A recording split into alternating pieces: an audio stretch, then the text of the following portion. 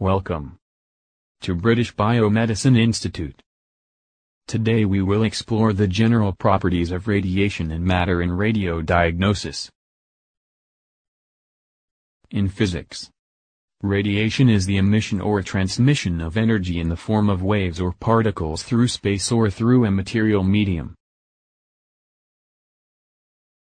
In physics, Electromagnetic radiation refers to the waves of the electromagnetic field, propagating through space, carrying electromagnetic radiant energy. Radiation is often categorized as either ionizing or non-ionizing depending on the energy of the radiated particles. A common source of ionizing radiation is radioactive materials that emit alpha, beta or gamma radiation consisting of helium nuclei, electrons or positrons and photons respectively.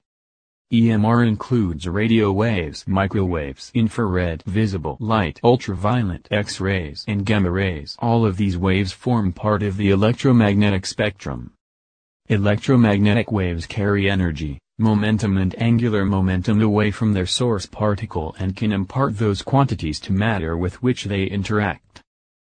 The effects of electromagnetic radiation upon chemical compounds and biological organisms depend both upon the radiation's power and its frequency.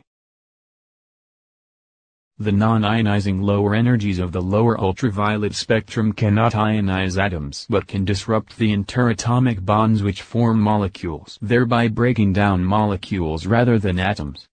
These radiations have the ability to cause chemical reactions and damage living cells beyond that resulting from simple heating, and can be a health hazard.